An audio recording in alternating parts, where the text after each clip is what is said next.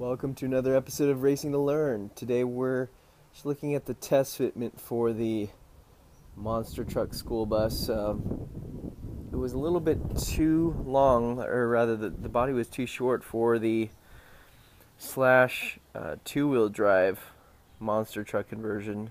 Here it is fitted to a Stampede 4x4.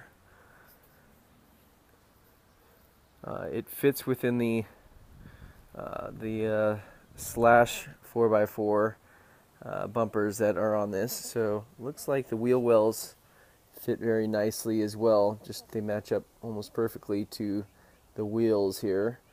So this might be interesting. I, I do have the Proline uh, body mounts here, uh, the extended body mounts, but they are um, just a tad too short there. Uh, but that's because the the body itself hasn't been fully trimmed yet. So uh, we'll see how this compares to the slash 4x4 fitment uh, and go with whichever one fits better. Thanks for watching. Uh, follow us on Facebook at Racing to Learn or uh, on our YouTube channel. Thank you.